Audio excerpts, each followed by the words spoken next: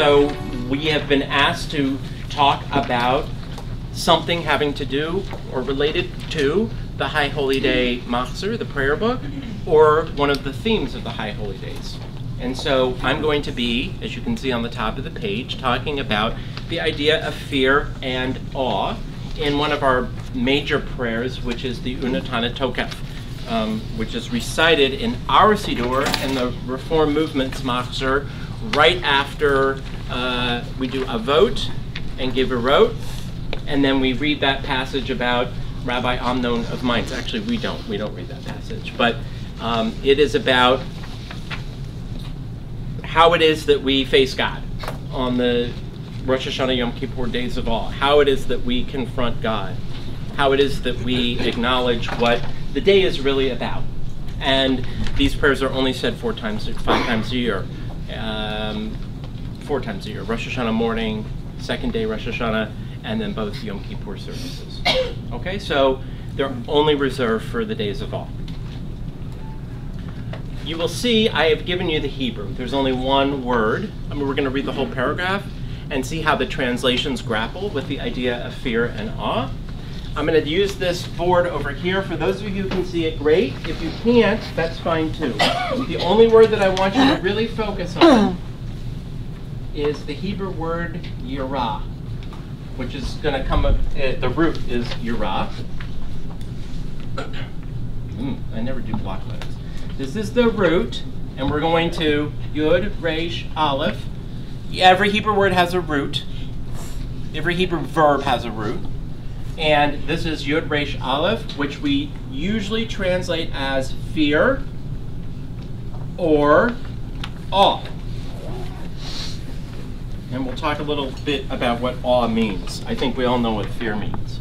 Um, and the reason why we're going to focus on this word is because for those of us who enter the days of awe or the high holy days with a sense of fear that really, really, really God is sitting up in heaven with a book, and in that book is written whether we're going to live or die by fire or by storm or by flood or by stoning or by any of those terribly gruesome things that are in the prayer itself.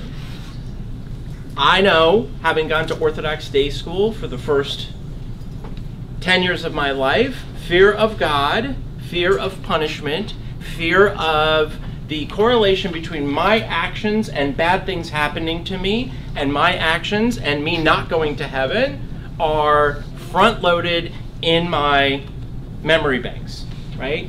So, keeping kosher for me growing up was about punishment do it or else. Respecting my parents for me was about do it or face the fear of God, the wrath of God, in this world or the world to come. In my childhood, you want to go to heaven, you keep the mitzvot. If you don't keep the mitzvot, you're not going to heaven. Okay, that's what I grew up with, and that's what a lot of us grew up thinking, and many of us come into the High Holy Days still thinking that. Why?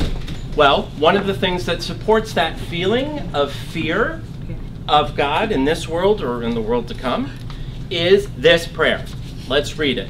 Unetaneh tokef kiddushat hayom kihu nora ayom.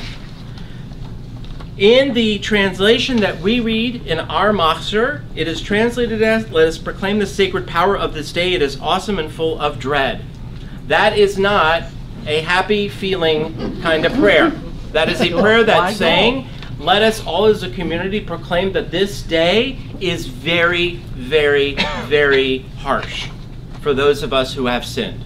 It is awesome and full of dread. Now, the word nora is that word. Okay, that's the root, fear. It is filled, so when they say awesome, that is another translation of it. But another translation of it is, for it is filled with fear and dread. The Torah, the Bible, when it says the word Yirah, or what we call Yirat Adonai or Yirat Hashem, fear of God, means literally fear God, in the same way that you feared your parents. Now, I know there's no one under a certain age here. if I talk to a group under the age of 20, they don't know what fear of parents means.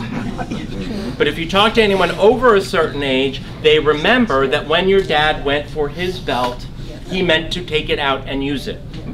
Okay, these kids have no concept of what that means. They don't know what it means to actually be really, really upset if your mom yelled at you like really upset, like internalizing it and all that stuff. They don't know from that these days. I sound like an old fart. They don't know from that. but that's what the Torah means. Fear God in that kind of scary, scary way, because God is God. We're going to look at a text in a second that comes from the Kabbalah, from Jewish mysticism, from Jewish mysticism's main book called the Zohar. And if you know anything at all about Kabbalah, and about Jewish mysticism, you know that how you feel, how you experience, how you engage with your Creator is not based in fear, but based in awe and splendor and love. They were the anti intellectuals. They were the ones, the Kabbalists who wrote the Zohar, were the rabbis who, in their commentaries, wanted us to actually feel good about being Jewish and doing Jewish and connecting with God. They didn't want the fear of God, and we're going to look at why and how in a second. So, if you look in the second translation of that first sentence, which comes from uh, Rabbi Richard uh, Levy, who is uh, who was my teacher and Rabbi Keller's teacher, and Jason is taking classes with him as well. He's uh, on faculty at HUC in LA. He translates it in his Machzor, which was written for the Hillel movement. All the Hillels in the universe, uh, well, in the United States at least, use on Wings of Awe, it's called. Um, Let us declare the holy power of this day. It is awe-filled and mighty. So you can see, even in his translation, he tends to lean more toward a Kabbalistic translation. It is awe-filled and mighty sounds a lot nicer than awesome and full of dread. Yes. Right? And that is on purpose and it is a very valid translation of Nora Ve'ayom. It's fine to translate it that way. You'll see prayer books where they translate it even more fluffy, more warm and fuzzy. But they're trying to, in those sidurs, make you not fear God and not do things, or not do things, as it turns out, with regard to mitzvot, because of fear of punishment. And I know that sounds like the total antithesis to anything you've ever learned about Rosh Hashanah or Yom Kippur, that we should go in ready to meet our Maker. I know I grew up learning the Yom Kippur is a rehearsal for dying. It is a it is an annual rehearsal for facing God and God weighing your good deeds and your bad deeds and deciding if you should go or not go to heaven, right? And for those of you who don't know this, Jews very much believe in heaven in Jewish uh, text and hell. In fact, we're going to see a reference to hell, but we call it something else. We call it Gehinnom. All right, enough of these prayers. You can look at these later. That's not even the, I just wanted to show you the different translations. Focus on that word yirah, norah. Okay? Here we go. This is from the Zohar, and you can see on the top it's from uh, the chapter 11, verse 71 through chapter 12, verse 71. We're not going to read the whole thing. So, put on your Kabbalistic hat, which means don't worry about whether it's true or not, or it happened or not, or when you study this stuff, I think you're supposed to just sort of accept that it's saying what it's saying. and when I add or subtract or multiply or divide by it, you'll just accept it. Okay? I don't, I'm not the authority on this. I'm actually learning this with you for the first time. Okay, I've never taught this before. So, what is the first few words of the Torah? Hebrew or English? Anyone want to tell me? Breshit bara Elohim. Thus says the Torah chanter on second day of Rosh Hashanah when we read Breshit. Breshit bara Elohim. In the beginning, or we always translate it in the beginning or from the beginning, God created. Okay, the rabbis in this piece of Zohar are only interested in not even the bet of Bereshit. They want to translate what Reshit means. Now, Reshit in Hebrew typically is translated as first. So, some translations go and say from the first or from, you know, instead of from the beginning or in the beginning, we'll say in the first moment of creation, God created the heavens and the earth. They're only interested in what we can call here, because we're amongst friends, reshitiness. What reshitiness means. That is the combination of a Hebrew word and an English word. It is not a word. I just made it up. Reshitness.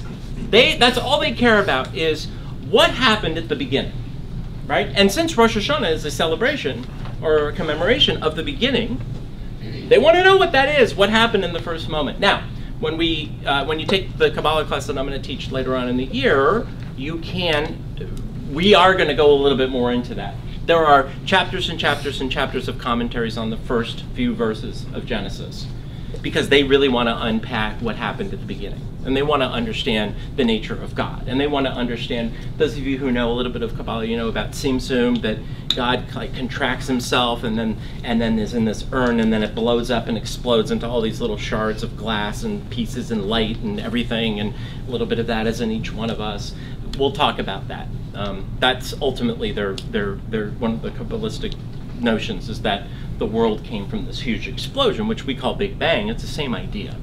Um, and then the explosion forced everything into existence. Okay, so in the beginning, God created. First chapter of Genesis. Uh, the bold print sections are the text that comes from the Bible.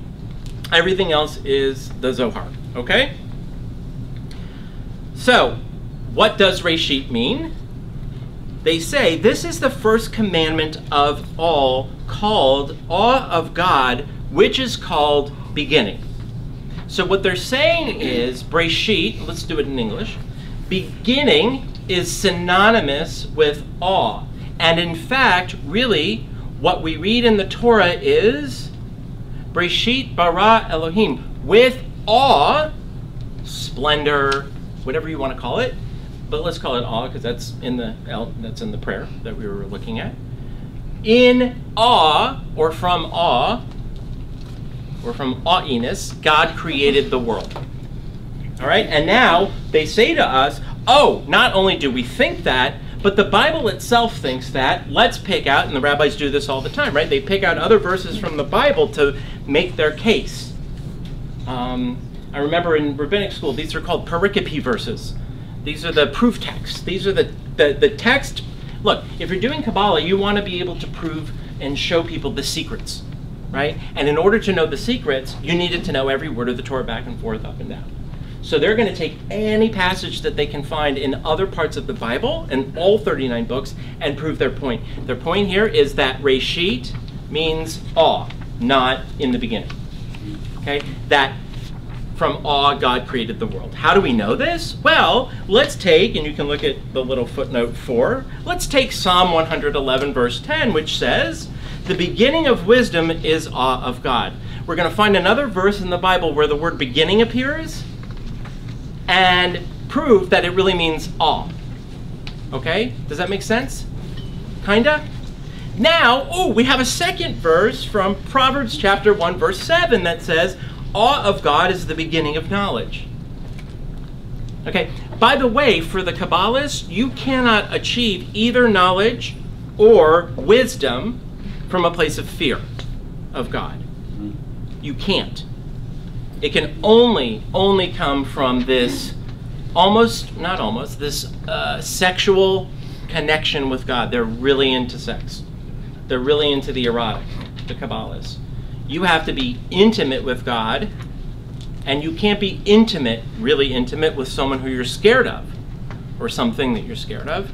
So, you want wisdom, you want knowledge, which are, by the way, parts of God's character, and that we'll do in the class later on when we look at the sefirot, the rungs, the descriptions of the parts of God. You want that, you have to have a sense of awe. It's like you can be afraid of your spouse, because you know how they're going to react to certain things that you do, but really to be in covenant with your spouse, to be in love with your spouse, means that you feel awe when they walk into a room. Okay? And they say, so look, we got these two. So they say these two texts, uh, they, they, these two texts are used to support the definition that God created the world from a place of awe or from pure awe. We'll stop right there for questions or comments. God felt what? God did not feel anything. Well, you say God was all. God equals awe God equals all. Yes. So you want to believe in God, you want to have a connection with God, you want to be in covenant with God, then you have awe. So you wake up in the morning, as Heschel would say, right? Or as Michael Marmur, Dr. Marmur quoting Heschel would say, he said there are two types of people. According to Heschel, you wake up in the morning and you go, wow. You have a sense of awe, right? Or you wake up in the morning and you go, oi, which is more dread. And for Heschel, right, because Heschel believes in this God that is very personal with us and he's very mystical, he thinks that we wake up and have that sense of walking around constantly in wonder. Yeah, Donna. And God wants to have a relationship with us. Yes. But the first commandment. Do you know why God wants to have a relationship with us? He loves us. Yes, it's that simple. He just loves us because the first commandment isn't a commandment. It's just like, I am the Lord. I'm here. Right. For you. I Right. want a relationship with you. It's a statement of purpose. And to be in covenant, Donna's making a very good point. The first commandment of the Ten Commandments is not a commandment, it's a statement of purpose. It's the ketubah, hmm. right? I am God who brought you out of Egypt. I'm here. I'm, I'm in love with you. I want to be in covenant with you. And now we'll go into the commandments. And as a sign of that, of sign of that love, the actual ketubah will be the Torah. You know, that's actually the book that's going to make it happen. That is going to be what the foundation of our relationship is. And if you want to get to know me, God, I already know all of you. I'm God. You want to get to know me? You get you have to get to know Torah. I mean, really, really know me on that deeper level. It's like it's like a marriage also. Like you really, really want to get to know your person that you're marrying, your partner. You got to spend really serious time with them. You have to ask them questions. You have to get to know what makes them tick. You have to know what their essence is, and all that kind of stuff. Yeah, Um, I'm very confused. good. Um, and I'll give you a little background. It's brought up in an important Reformed congregation in Yes. Milwaukee, Wisconsin. Mm -hmm. And I was I was confirmed there and that I was married there. Um, I never heard anything about fearing my parents or fearing God. Uh, the Kabbalistic, your Kabbalistic approach, were we learning Kabbalistic Judaism? Because we were also out, out the back door learning that the Kabbalists were kind of weird. Yeah, hippies. So is that, is that You grew up I in a classic from? Reformed congregation where God talk never happened, and if it did happen, it was if it did happen at all, it was it was um, incredibly mild. So you grew up the opposite of the way that I did. Growing up in an Orthodox day school, it's all we were taught, and a little bit of Hasidic stuff and a little bit of the other stuff, just to you know add a little dessert to the plate. In classic Reformed congregations, especially in the 40s, 50s, 60s, 70s, God talk was minimal, minimal. God talk meaning really, we had a theology as Reformed Jews, social activism, social justice causes, the prophets, prophetic Judaism, Zionism after 37 when the when the Reform rabbis decided that Zionism wasn't a bad thing. So you may have grown up in a time when it was presented in in whereas I grew up in a place where it was presented one way, it was presented another way. It could be that. May I ask, am I You may. alone in this room? I'm feeling like I'm the only one who doesn't fear God.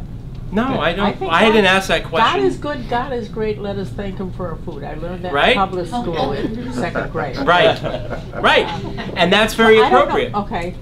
No, I don't know who grew up What thinking this. what are we teaching now? What we are teaching now is a perspective on a word that brings a lot of us and a lot of Jews a little bit of angst when we walk into Rosh Hashanah Yom Kippur services. When we say, I have sinned before you, I'm sorry, and then we read, sins against God are already forgiven. Why? Because as Donna said, God loves us, and if you love someone, you forgive them, so on and so forth. But we're reading one specific prayer that a lot of people I know grapple with. I know that for myself, that I grapple with. Let us declare the sacred power of the state is awesome and full of dread. I know for myself, I want to read it a little bit differently. But you can't mistranslate it is awful or awesome and full of dread because it is, dread is not a positive feeling. As far as the Kabbalists being weird, they were anti that. They wanted, and throughout history, they wanted us to have a different level of relationship with God that was based in awe, love, justice, and kindness, and all of the nice things. Would it be The, the nicer ideals that do very much exist in Judaism. Yeah, Would it be more covenantal? It takes two to make a covenant. yeah, So it's, that's our covenant between God and us. Without God, what are we? Without us, what's God? Right, right. It. It definitely goes both ways. The Israelites said in the Torah, "Na'aseh v'nishma," we will do and we will listen. They entered into the covenant. The covenant, by the way, in a wedding is not dissimilar from the covenant at Sinai. There are three things that you need for a wedding to for a couple to be married. For kiddushin, the sanctification of the marriage, you need a ketubah, you need so a signed document, you need the exchanging of uh, something of value, which is the ring, and you need sex. You need to consummate the marriage. Those are the three things that make someone married to another person, or in our case, to each other. That's it, right? So it, at Sinai, you needed God, you needed the people, and you needed Moses. You needed three things to happen. And so the people say, we will do and we will listen. God says, Anochi Adonai Elohecha. And Moses is the intermediary, making sure he's like the officiant almost. Any other questions about the verse or the going back to- explanation of awe? Well, growing up Reformed Mhm. and not hearing a lot about God, but I feel like when I went to the High Holiday services, Mhm. this was there. Right. So not on a regular basis perhaps, but, you know, is that, But look, Susan, a lot of people complain that Ronnie and I don't talk about politics on the high holidays because they grew up in congregations with rabbis who were greats in uh, social action and social justice. And so it would not be inappropriate for a certain demographic for me to get up and talk about healthcare reform or to talk about immigration or to talk about any of the political issues or even by name talk about a candidate. Rabbi Plotkin of blessed memory told me that in the 60s he did actually speak about Barry Goldwater um, during his sermon in 1968, and it was the only time that he took a side. And it was, and we say, well, it breaks the law, and you know, we're a, we're a nonprofit. We're not. uh, There's ministers all over the country uh, who are demagoguing one candidate and supporting the other. So let's not go there. But we do. But people complain about that all the time to me. Why don't you guys do more current events? Those of us who grew up in the Reformed congregations, Rabbi Marty Weiner spoke about healthcare, spoke about the war in Iraq, spoke about, in fact, one of our little controversies in my last year there was Marty gave a very strong pro Second Iraq War sermon on the high holidays in 02. And the next week, it wasn't the high holidays. I was smart enough not to do it then. It was Sukkot. I spoke totally against it. And I, because the movement, the reform movement, was about to support it in a, in a resolution. And I talked about we don't know there's any weapons of mass destruction, and this is going to lead to the entire region blowing up. And I was a little prophetic, I must say. And but I wasn't the only one. I mean, there were a lot of people saying this, and um, both sermons were received very so well and so difficult for a lot of people that we ended up having like a session the following week where both of us were there and some people could yell at me and some people could yell at him and the good thing was it was really cool because marty was my rabbi for my confirmation so i'm sitting there with my teacher mentor colleague and and it was like a it was it was definitely awesome it was an awesome but that's what they grew up with I mean, and so when we talk about God, Torah, Israel, so on and so forth, we're in this new phase of the movement, I would say, where our kids are going to be much more comfortable with God talk than a lot of us are, especially when it comes to these two. Okay, let me move on. So, they say, for this entity is named beginnings. This entity, this reshitness that I was talking about, that's what the entity is. With these two texts, are teaching us that you can't enter the world without a sense of reverence. That's as close as we'll get to fear. Reverence and awe for God. So let me say that again. For this entity, this Reshit, is named beginnings in the Torah. It is the gate through which one enters faith. You enter faith through connection, spiritual connection with God, in the way that you were describing by acknowledging the goodness, the wonder. God represents justice, God represents compassion, God, which is very Jewish, very Jewish. The entire world is based upon this commandment. Now they go into an even greater statement that the entire world, not just for Jews, but for, for them, Christians and Muslims, because this was written way after Christianity and several hundred years after um, Islam came on the scene. The entire, and, and they are referring to those other religions, the entire world is based upon this commandment. What? That from awe, God created the world. From wonder. And, as I said again, that you cannot enter the world. God can't enter the world. God can't come on the scene without this huge sense of awe coming first. Now they're going to go on the other side and they're going to tell you why fear of God is not just wrong, and not just bad, but is not Jewish. It's not godly, not worthy of God. Mm-hmm. Yes. Well, before you go into the Yeah. fear stuff, it makes sense about having awe of God, because if you don't have awe of, you don't have that sense of, of, that from that awe came the connection, then you can't see the miracles and the wonder that are gonna happen. If you're only strictly logical, and you're trying to make the world a logical thing, which I've seen lots of Sure. meetings of lately, then you miss the miracles and the wonders, not only of of the big picture, but of everyday life. So I think the part, Sally, of what you're describing about people who miss, if they can't have a sense of awe, then they can't have a sense of awe happening. Yeah. Miracles, the little things that happen on a daily basis that we miss. And I think that describes atheism. I think that describes the more intellectual, scientific based theories of things, Yeah. um, where the emotion, not, not all the time, and I'm making a generalization, but where some of the time the mystery is taken out of it for the purposes of science.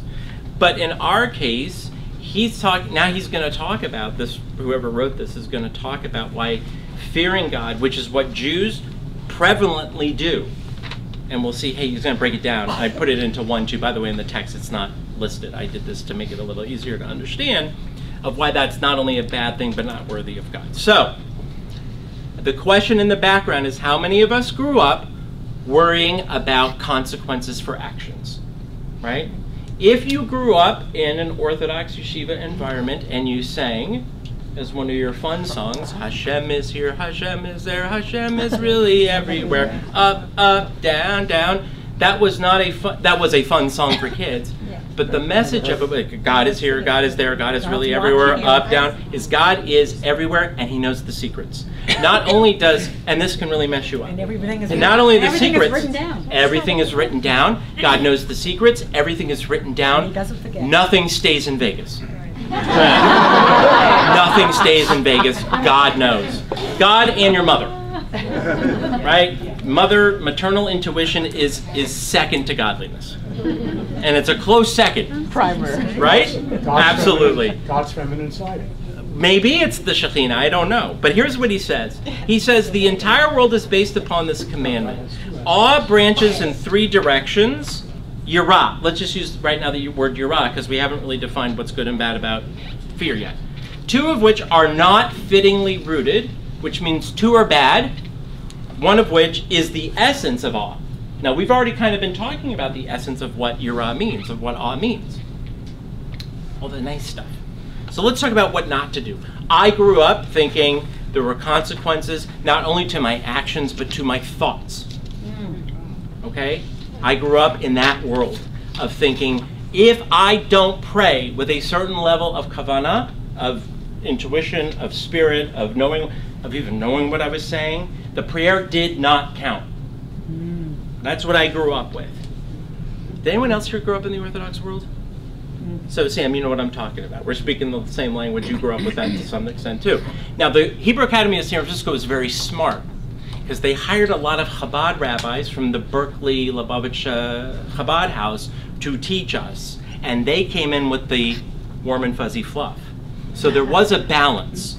When you're studying Talmud or Rashi, you get to do all that stuff. When the Chabad guys came in, we got to do the stories of the Rebbe and the guy who was poor and the guy who was rich and the poor guy mm-hmm. got rich and the end. You know, we got to do mm-hmm. that.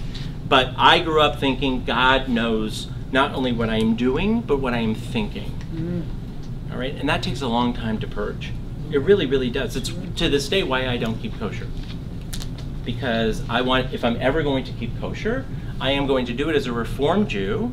Uh, I already know everything about kashrut that I can possibly know at this point in my life.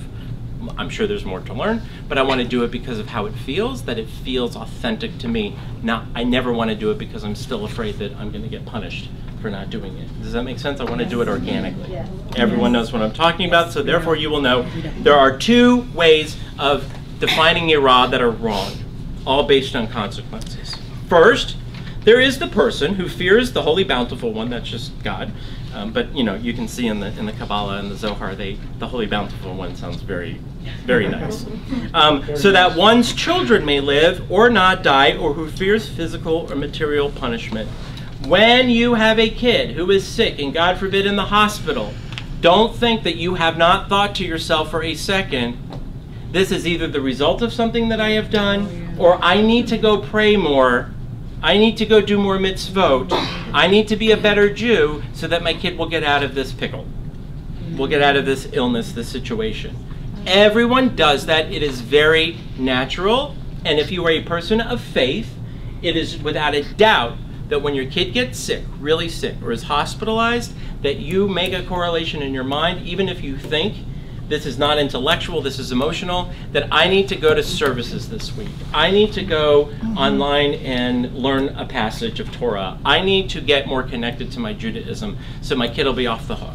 Or what did we do to deserve this? Or what did I do to deserve that? That's that's not the consequence part though. That's that's a mm. that's a different for them, it's a different part of theology. This is just about mm. consequences. My kid is sick. I need to fix it by doing more, praying more, um, learning more. Uh, it's why Jews are very vigilant, Reformed, Conservative, Orthodox about the death rituals, about funerals, about making sure that we dot all the I's and cross the T's. For the most part, um, they have a lot of questions. They want to make sure that they're doing it right.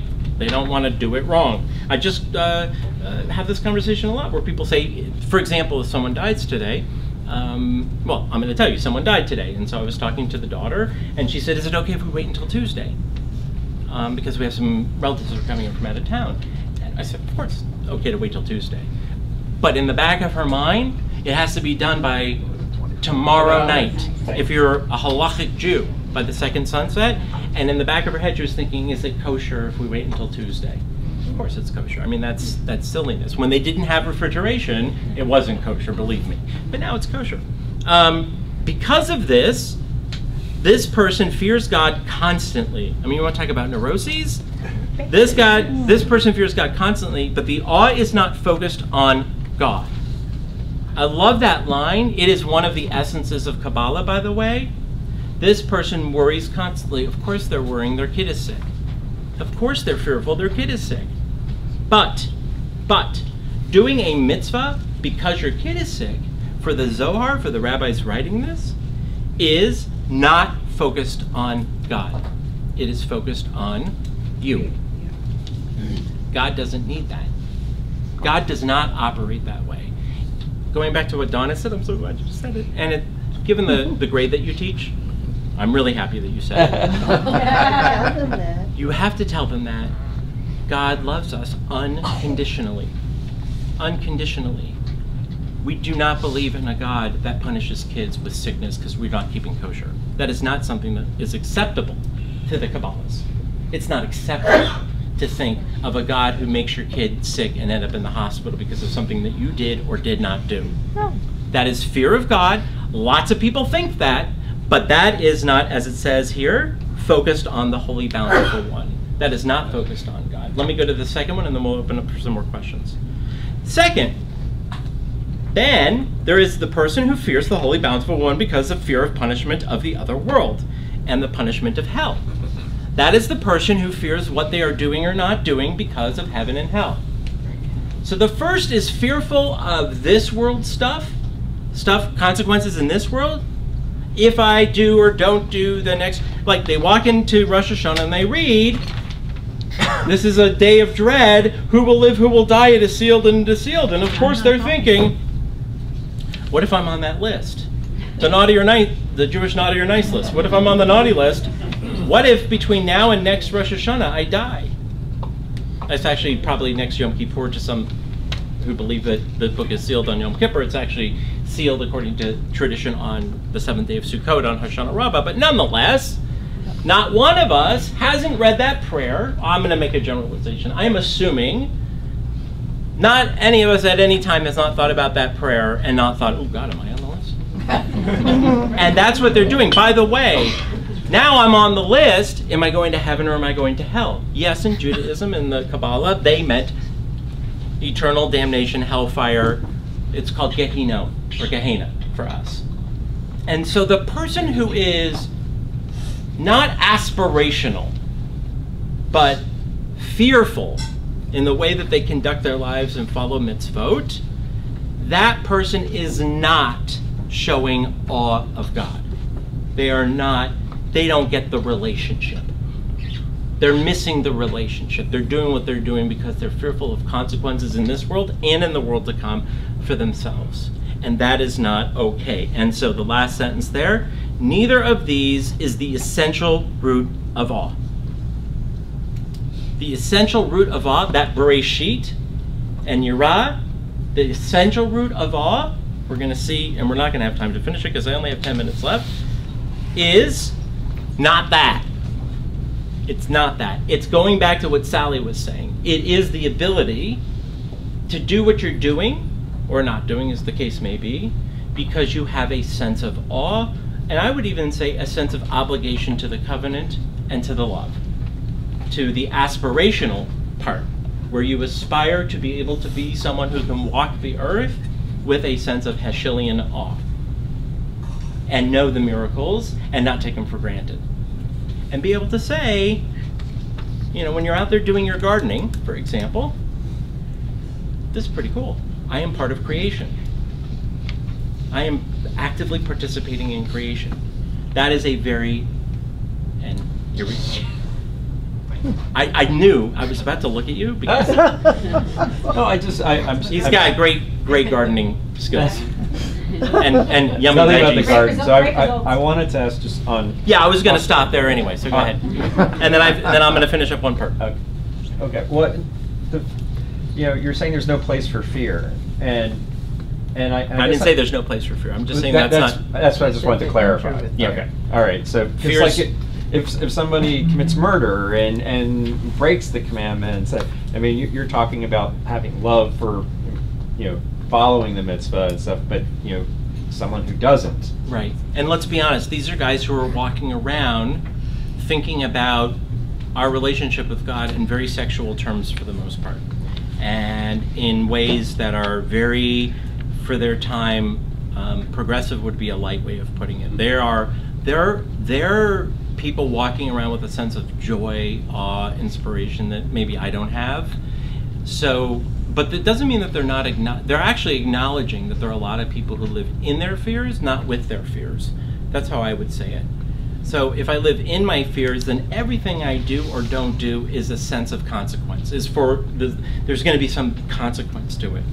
Um, if I live with my fears, then hopefully I can balance my my fears, my anxieties, what I'm scared of, with still being able to have a sense of wonder and awe. And I think most of us fit into that category. You know, I think most of us, look, we're Jewish. The, the neuroses is in our DNA. Being worried and when our kid is in the hospital, it is not a bad, I do not want you to think I am saying it's a bad thing to pray more when your kid is sick. Or to think that if Ronnie and I show up and do a Mi Sheberach that it's going to work. It does. There are more texts probably that would say, rabbinic texts that would say, yeah, a community that prays for the healing of a sick person you know, is is going to be more powerful than just a single individual doing it. It's why we have a minyan for praying in general. Like it's it it doesn't mean it's bad for me to pray alone. It just means it's better for me to pray with a community. And it's better for me to pray for my kid with a community too if they're sick. But when we go into the whole blame game or consequence thing, all they're saying is all the other texts that you've read in the Talmud or in commentaries or in Midrash that paint God in a very biblical way. I mean, God's not very nice in the Bible. God's definitely edgy. And God definitely overreacts. And God def I mean, look at all those stories where God's saying, I'm going to kill all of them. And Moses says, wait, wait, wait, wait, wait, wait. If you kill all of them, the PR is going to be, the PR department has said that the Egyptians will say, look at those stupid Jews for leaving Egypt just to get killed in the desert, right? And so God backs off. God learns from Moses. Um, but, but, you know, I think living with fear is definitely something we all do. It's living in fear that I think they're addressing, especially when it comes to observing mitzvot. It's okay to keep kosher because a little bit of you thinks it's what God wants. I want to make sure I go to heaven. Like, I think that's okay, that's normal. But you should also keep kosher with a sense of awe that you're actually doing something every time that you eat that connects you to God, to the awe of God. And I, I would imagine most Reformed Jews who observe kashrut, and even conservative to some extent, and some Orthodox Jews as well, do it with a sense of awe. and not fear. And that I think makes it a little bit more, like I say, organic. It makes it a little bit more worthy of God. 'Cause for them, God is awe. God is Ein Sof. God is unending. And you can't define God. But you can try to understand God. Try to understand God. Okay, then- and when we get to the class and I have the Sphirot written up, I'm going to show you where these ideas, which elements of God's personality, so to speak, these ideas are related to. That's like the next step. I should have done that first, but that's that would have been the whole class, and then I wouldn't be able to teach it later. Yes. The Kabbalists, this is Kabbalists? This is uh, rabbis who wrote the Zohar. Rabbis who wrote the Zohar, Mhm. different than the Kabbalists? No, Kabbalah is the total genre Okay. of Jewish mysticism. Okay. So, for example, the Hasidic uh, rabbis, the Baal Shem Tov and his followers, they wrote another book.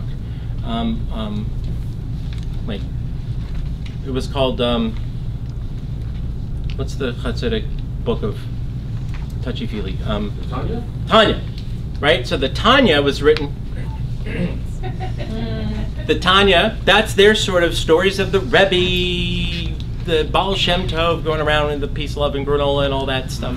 Um, there's there's there's there's all kinds of stuff. There's Jewish astrology writings. There's by the way, that's a that's if I ever have the time to write a book, one of the ideas is to take the concepts of astrology, like the twelve houses, take the 10 sphirot, the 10 emanations of God, and then go look for something else that's out there in Eastern philosophy and mash them all together. And so next time you go to a psychic, you'll know that you're not allowed to do it. It's not permitted in the Torah. You're not allowed to go to a soothsayer or a magician or a psychic. And then what do the rabbis do when they see a line like that? They end up doing it anyway. Right? By the way, there are tons of legal documents in Judaism, not tons, but many that say you're not allowed to talk about what happened before the beginning of creation. And this is what they're doing. They're talking about what happened before the beginning of creation because they're giving God an attribute called awe. So we break our own laws all the time. Yeah, two more, and then I only have three minutes, and I want to just finish one more part. So, so awe isn't superficial, because Mm. one of the prayers or one The of the opposite. readings we do during the holidays is talking about, is this the way I want you to address me? I, I'm not getting it right, you know, the bowing and all that, he says, that's not what I want, I want you to do. That is from the book of Isaiah.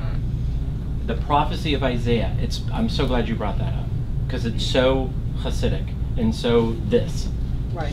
So it's on Yom Kippur, and he basically says Isaiah, and remember he's preaching way, way, way before this was written. He's preaching to the Jews who were living in Babylonia in the sixth century, and he says, "You think it's this stupid fast that I want? I don't want this fast. It means nothing to me. The fast is for you. I want you to remove the shackles of the poor. I want you to get in the dirt and get dirty and help people. I want you to. You think I want you to, to offer sacrifice? Your sacrifices are meaningless to me, which, by the way, means your prayers are meaningless unless you are doing it. Hmm. Have a sense of awe. So you're exactly right. That's what Isaiah is talking about probably 1500 years before this is even written. Thank you for picking that up. That was awesome.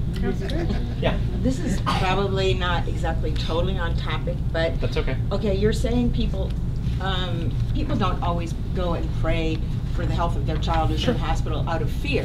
They do it because they think prayer is gonna help. Mm-hmm. And then prayer doesn't help, Mm-hmm. okay? Then what are people supposed to think? Okay, so again, it goes back to the premise, and I can't answer the whole thing now because that's a whole other topic.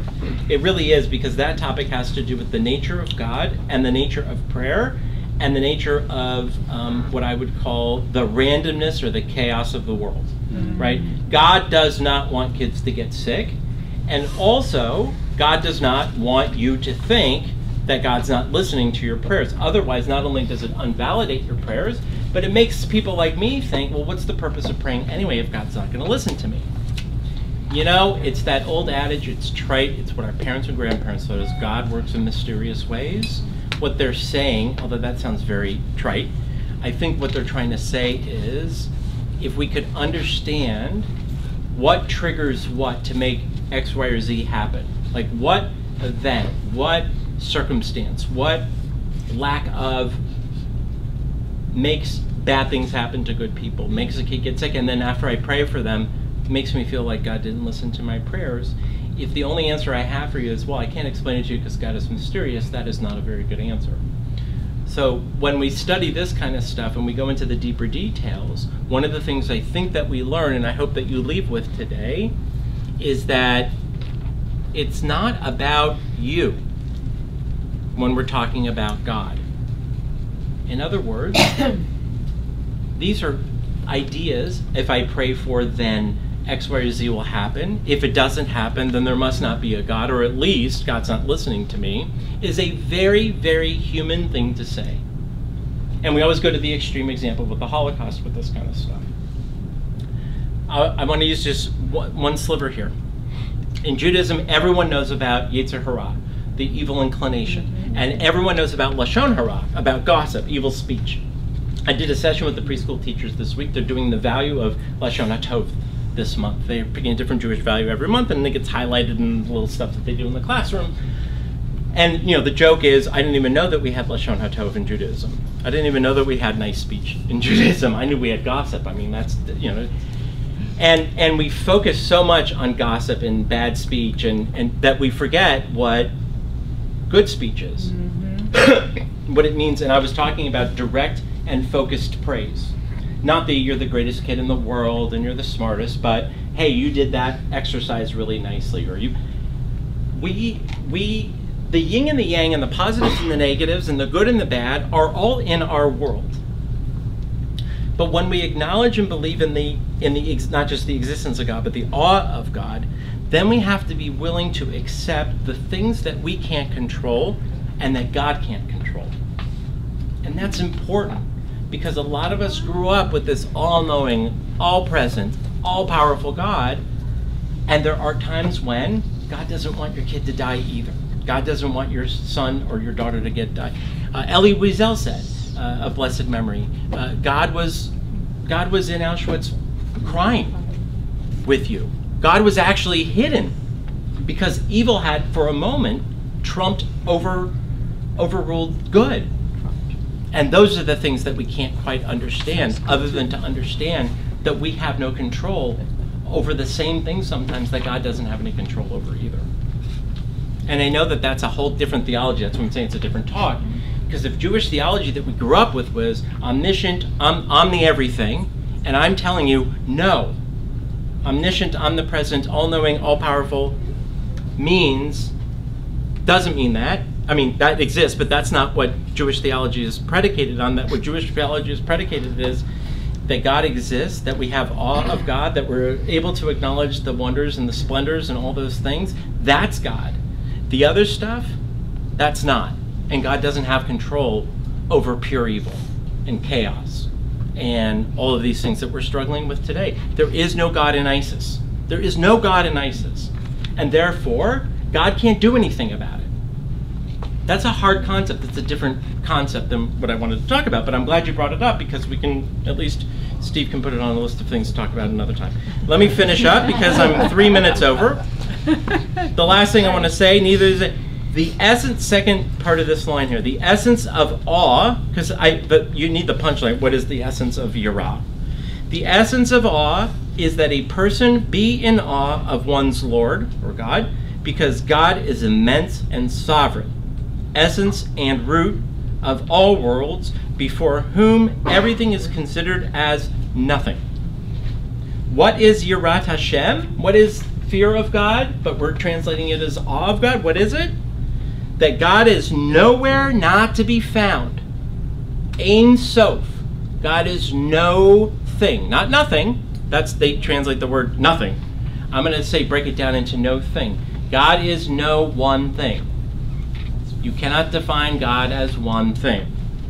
So God is nowhere not to be found, but just because God is everywhere doesn't mean that God is sitting there keeping a checklist of you, good or bad, naughty or nice, who will live, who will die. And that also applies to us that we need, since this is happening, we need that sense of awe always, at all times. Okay, immense and hold on one second. Immense and sovereign. That God is immense and sovereign means God is everywhere. That potentiality, that brashidiness, the rashidiness is everywhere. That sense of awe is everywhere. And as Sally said, we just have to be able to open our eyes and see it. And we need to have that sense all the time. And when we have that sense all the time, and God has obviously has that sense all the time, then the true awe happens. We may call it transcendence, we may call it spirituality, we may call it Judaism, we may call it prayer, we may call it pure, but that's when that happens. So what I want to say is when you go into the High Holy Days this year and you open up your Machzor and you read Unetaneh Tokef Kedushat Hayom Kihu Narav Hayom, read it for what it is. It's meant to say fearful and full of dread and all that stuff. And then try to transport yourself into a place, at least inside of yourself, where you try to have true, real meeting with your Creator. Have a moment of awe.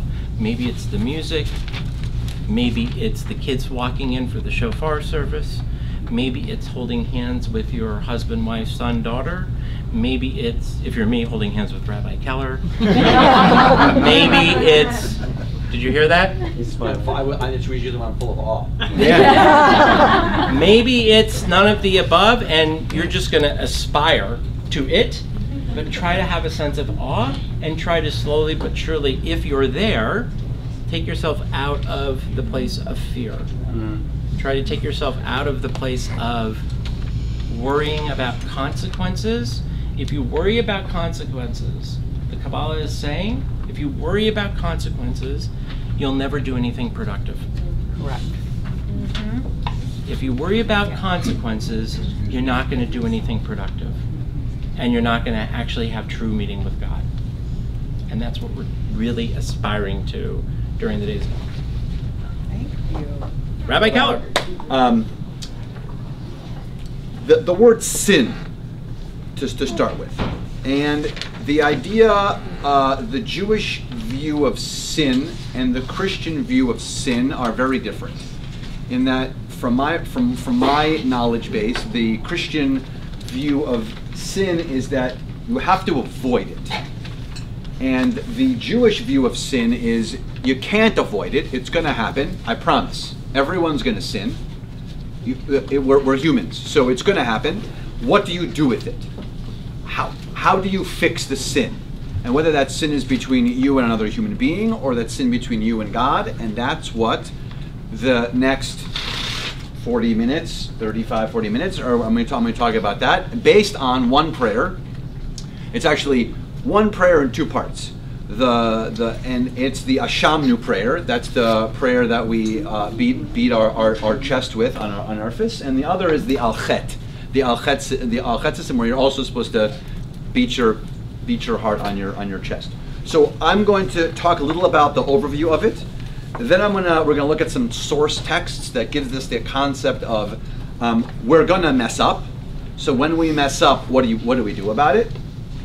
Then we're to look at some of the pieces that grow from the Torah and go into the Mishnah, go into the next text. And the last part is I um, uh, used most of a rainforest to produce uh, a lot of uh, paper for you, which I don't love doing, but there's no other way to do it, um, about very different views from different movements looking at the Ashamnu text, wh- which we'll hopefully have time at the end to examine. I brought uh, our uh, our reform version of it. I brought three conservative versions of it, and the fourth is the same text Rabbi Kahn used from Rabbi Levy, uh, which is uh, Rabbi Richard Levy, which is on, on Wings of Awe, is, uh, is his own prayer book that he wrote. By the way, he wrote that for Hillel. Actually, wrote that for uh, Hillel, the Hillel system, and then it just picked up and because it's a brilliant piece of work. So he's an incredible liturgist. So that's that's the plan, and that's what that's that's what we're going to do. And so you should throw something at me or stop me if you feel like um, I'm going too fast or too slowly or you have a question. So if you're going to throw something something soft, perhaps nothing Sweet. and sweet, yeah, nothing. Maybe some chocolate. If you're going to throw, throw some chocolate at me. It would, would be fabulous. So that, that's the that's that's the view. So okay, so um, the vidui is uh, call, it, the the term vidui means confessional. You are taking on a confessional, sort of the, uh, we all know the imagery of uh, confession going into your priest and the little curtain and the thing and the, different. It is a different, it is a different system. Uh, and so um, we, we have this, this system that the rabbis put in place of this vidui of, of this um, confessional. By the way, um, there are we, we get to do two different viduis in our life. The first the first vidui, God willing, is the one that goes on year after year after year for Yom Kippur. We get to do this confessional. Then there's your final vidui, and that is actually the last thing you're supposed to do just before you die. It's literally on, on your on your deathbed, you do the vidui. You don't do the short vidui, the yearly one that we that we do. You do the life vidui, where you reflect on everything. It is literally this, but for everything. And so so so that is the it's the last rites of Judaism because we, we know that term from a from a Christian perspective. That is that is the Jewish version, and so uh, fortunately, unfortunately, Rabbi Kahn and myself and anyone who's going to be uh, who's going to be a rabbi is trained on this vidui, and and uh, you, either you do it with the person they do it, or if they cannot do it, you do it for them, which is even more complicated. Um, but that is the idea of a vidui, and it is literally the confessional system. And so that's that's what we're going to talk about because remember everything is about this sin system, but how do we deal with it? So Rambam, Moses Maimonides decides that everything, in his opinion, is about this this thing, this idea of how you overcome your sin or not. His whole idea, by the way, the whole birth of the concept of heaven and hell, that whole system is created by Rambam. That, that the system that, that we that we function with, or Moses Maimonides, and he and he writes a book called Hilchot Tshuva, which is sort of the path of repentance. And he decides in that book that's where the scales are. Actually, we think of God with the scales, the scales are actually: did you fix the mistakes?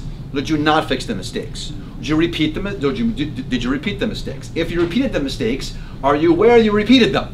And so then, so then you, you, you get to change them. And that's what Maimonides wants us to, to, to be thinking about on this concept of overcoming sin or not overcoming sin, uh, and how and, and and and how the system works.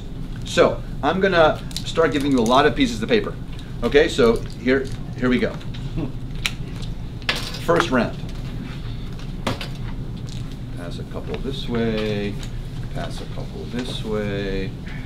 Pass a couple back here. Some for you to pass back. You pass back. Some for pass back. Okay, it's green.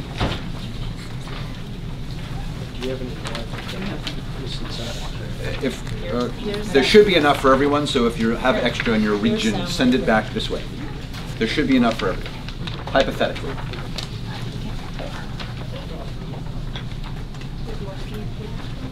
Do, do you, does, it- did everyone have? See one, have one, near one? You need one more? Oh, oh, we have. You have it, okay, good. There, there, there, there should be enough. Okay. Okay, so um, the, on this on this on this document there are one, two, three, four, five. There are seven pieces of text. We're going to hopefully get through uh, as many as we can. Okay, so what's that? Three. Three, exactly. I I was going to go with one, but thank you for thank you for thinking I'm going to get to three. That's the end? that's very. Oh no, we can't start at the end this time. It doesn't work. Okay, so if you if you see, we're starting with the book of Leviticus, which is in the Torah. Yes, good. Were you were you with me? In the Torah, third book. Five books in the Torah, third book, book of Leviticus. It's chapter what? What chapter is it? 16. How do you know it's chapter 16? It says It says it. Good, excellent, good. What verse is it? 21. How do you know? It says As it. it says it. Excellent, good. Okay, so who would like to read Leviticus chapter 16, verse 21 for me in English? Please. Please. And Aaron shall lay both his hands upon the head of the live goat, and confess over him all the iniquities of the people of Israel, and all their transgressions and all their sins, putting them upon the head of the goat, and shall send him away by the hand of an appointed man into the wilderness. Okay, so what is this? What do we? Thank you. What what what is this? Some, someone uh, paraphrase this for me. Yes. Like Tashlich, It's sort of like tashlich. What's tashlich? Tell, tell us what throwing tashlich away is. your sins, your worries, taking them away. Yeah, so on starting the first over. day of Rosh Hashanah, after after synagogue, you go to an open body of water. Ours Mhm. happened to be It happens to be Roadrunner Park because we don't Right. have an open uh, bo- bo- bo- bo- body of water, and you cast you cast uh, the, these these breadcrumbs into the water, and it's like your sins, and they go out to sea, and you're and you're done. So pr- preceding that, there was this, right, which which is sort of like Tashlich. Excellent. Wh- wh- wh- good. Wh- wh- What else? You're- Transferring, giving it to the goat. there- there- what, what are you giving to the goat? Your sins. It's a scapegoat. Very good. That's very good. That is actually where the term comes from. So yes, thank you very much. It is the scapegoat. That is where the term scapegoat comes from. It comes from this piece of text, actually. If you've ever heard of scapegoating, it's this scapegoat. So, what are you doing to the goat? Giving the sins to the goat. You're Letting giving the goat sins to the goat. the How are you doing that? By placing your head. Who who is doing it? You're touching the Who- Yeah, who in this section is doing it? Aaron. Aaron. Who's Aaron? The, the high priest, right? The only, the first one. Every, every, every priest. Raise your hand if you're a Cohen. Are you a Cohen in the room? If you're a Cohen in the room, well then, so that you descended from Aaron. All right, good. So he is the he is the high priest, and so Aaron puts his hands. So is it everyone doing it? So who's who's transferring? Aaron. Aaron. Where is Aaron getting his sins from?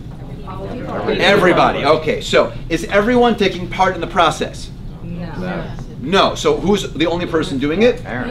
Aaron. So in, in our system that we know now, do we each get to do it or does someone do it for us? We do it. Okay, good. So start thinking on how we transition from the core texts into how we transition into 2016.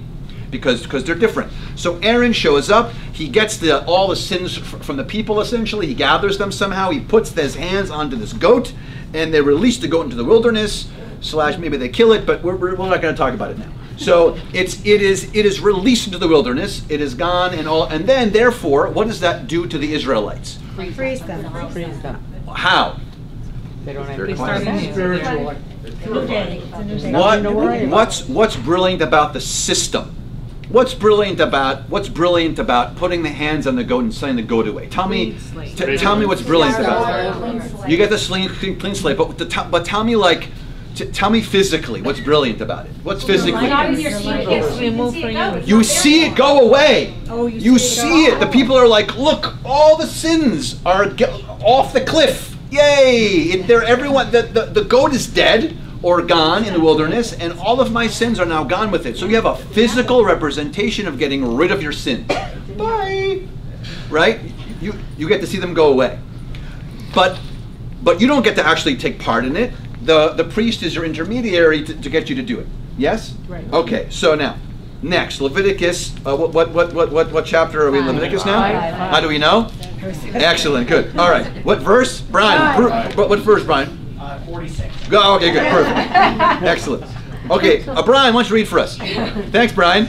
Chapter 5, verse 5, right? Uh, yeah, yeah, yeah, yeah, that one, yeah, good, good, good idea. And it shall be. Wait, wait, wait, wait. Okay, go now.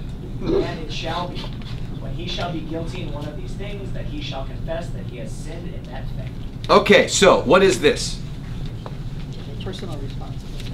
Ah, what's that? Say that again? Personal responsibility. Aha, so already now, now if you glance at this very carefully, you're going to tell me, but chapter 16 is after chapter 5. Oh my goodness! So chronologically, how could this happen? If it's if it's first it's Aaron and then it's personal, because I'm here to tell you the Torah is not linear. Thank you. So the Torah does not work if you look at the Torah or any Jewish text in an organized, chronological, historic fashion. Eh, not going to work. So um, it doesn't matter if it's first or second. The con- the con- the concept is here, and so the concept is second. So the first concept is Aaron is taking care of it for you, and the second concept is, like you said, personal responsibility. So now it's a little bit on to me for me to take care of it. I can't just literally scapegoated away. I, I can't literally be like, keep it," and then I, then I watch it go, go I watch it go, go off the cliff. That that that that doesn't work. Okay. Rabbi, Yeah. If 21 is after 5, in 21, Aaron's getting rid of the sins of everybody. Yeah. Whereas in 5, it's just the individual. Right. But what is it showing us? And, but you're saying it's not linear. Well, it's not linear. But what is the two pieces? What do the two texts show us? It does two things. one is the individual and the other is everybody. Yes, thank you. That's it. That's the whole point. The, whole- the, the, the, the whole point. Is it doesn't matter what order what order the texts are in. The point is that the Torah is trying to tell us is that we have to do both a little bit. It's But, both. but it is in order. What's that? It is in order. If five is the individual and twenty-one is the. Yeah, it, it, the, the concepts are in order. Okay. Yes, but not the but not but but not the chapters. Okay. Right. That, that's what I'm saying. Not, not Okay. chronologically the chapters. The concepts are in order, but, but not the chapters. Okay. Next, we're going to the next book of the Torah, which is the book of Numbers. Yes, we're on chapter five. Who would like to read uh, three verses for us? Anyone? It's in English. Anyone? Please. Thank you. And God spoke to Moses, saying, Speak to the people of Israel. When a man or woman shall commit any sin that men commit, do a trespass against the Lord, and if that person is guilty, then they shall confess their sin which they have done, and he shall make restitution for his trespass in full. Okay. So what is that? Community law. Yes. Good. What else? What else is that? Other people are judging you. Oh, interesting. Other people are judging you. How so? Make restitution for sins. Aha. Okay. Good. So there's the there's a communal the the sort of passive goes goes away. Then there's a second text that says it's really up to you, and then the fifth one is not only is it up to you, but I'm telling you you have to fix it. I'm making it even clearer. So now you're going to commit a sin, but now I'm telling you you have to go fix the problem. You're not allowed to just be like, oh look, there goes the goat, yay. You actually have to go and fix it. You are required to fix the problem. You're required to fix the problem. The goat would be for those against God, and the other would be for man. Yes. Good. We're going to get to God and man in a second. Yes. Good. Okay. So, now, if you look at the next three texts, just glance at them, you'll see they're all from the Mishnah and they're all from a section of the Mishnah called Yoma. So, uh, and so, um, what's, what's so the Mishnah, by the way, uh, right? So there's the, there's the there's the Torah, the prophets, the writings that gives us the Hebrew Bible. Then there is commentary on the Hebrew Bible called the Mishnah. Mishnah is around 200 CE. 200 after zero ish is where the Mishnah sits. So we're, we're, we're Mishnah, by the way, is like the greatest thing ever. If you ever, it's such a beautiful Hebrew and it makes a lot of sense. If you ever have time, just be like, I have some free time. You should read the Mishnah. Okay, so um, if you if you look at the three pieces of text, be, be- because of time, I'm not going to delve too deeply into them. But if you look at the first one, so look at Yoma 3.8. Uh, so it says, and it's the same, bless you, it's the same concept. So it's taking the three concepts of the Torah and looking at now moved into the Mishnah. Because the rabbis wanted more interpretation, wanted more interpretation about the Torah was saying, so they write the Mishnah, and that's what that's what you have here. This is what this text is. So it says, it says, he came to his bull, and his bull was standing between the ulam, the entrance hall, right, um, and the altar, its head to the south, and its face turned to the west. And the priest stood on the east side, facing the west. He laid his hands upon it and confessed, and thus he would say, "Please, Hashem, I have done wrong." So it takes the Mishnah, but what is, but how is this phrase different? The one in bold print. What does that say? That is your responsibility. I have done wrong. So first is personal responsibility, and who's speaking, by the way? The priest. So the priest, by the way, so now the ownership, now we get ownership already. Because the idea is the priest, before the priest can say anything about anybody else, the priest, first of all, has to say, I made a mistake. Because if you're if the leader is not saying I made a mistake, then the whole thing doesn't work out. So the first thing is that the the priest says, I, "Me, I did it. M- Me, I I made a mistake." If you if you then look at the next piece of text, so it's Yoma 4.2. There it says, if you look at the bold print, I and my house and the sons of Aaron. So who is that? Who's that? Otherwise known as the not yet. The Kohanim, the priests, right? Because it's uh, I, it's still the, pri- the priest, and the sons of Aaron, right? Who are the sons of Aaron? Only the priests, right? Because Aaron is the first priest, and anyone who is the son of Aaron is the high priest. So it's personal, priest, then it's priests. Now, if you turn over to Yoma 6.2, now it says what in the bold print? Ah, and so now it's communal. So it's it's the transitioning from the three pieces of the Torah into the three pieces of the Mishnah and showing us that it's communal. That there's this communal idea. Yeah. And the concentric circles, it sort of builds, right? I have to do the internal one first, then the next round, and then everyone. Okay? Yes? Yes. Huh? I Yeah. thought there, at the be, at the beginning on Kol Nidre, Yeah. or maybe Yom Kippur morning, that you do stand, the rabbis do stand and say, Absolutely. we ask that we can do this on behalf of the community. Absolutely.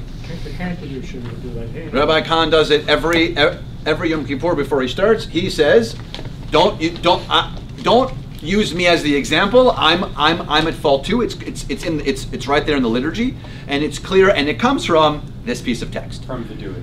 From well, it, it comes from the building of the vidui, but it comes from this Mishnah to say I have to go first, then the next round, and then everyone else. And, yeah, you have to do it. And by the way, no one's clear from it. Everyone has to say every because we're going to sin. It's going to happen. I promise. I Promise you, you're going to sin. It's going to happen. W- when you do, fix it. Okay. I Okay. did not know that until this minute. That you that, that, that, that you sin. I thought Oh. the guy who wrote those Gates of Repentance made it up. That's true. Yeah, it, it was. Yeah, it was the, the author was like, "Eh, throw this in here." Okay, so what I'm about to uh, to, to pass out to you um, is uh, the f- a photocopy of the Ashamnu, which is the uh, blessing where we stand and we beat our chest. It is from the gates of repentance. It is from the one that we use at services when we are at the high holidays. So, I have a uh, here's some for you. Here's some for you. Some for you. For you.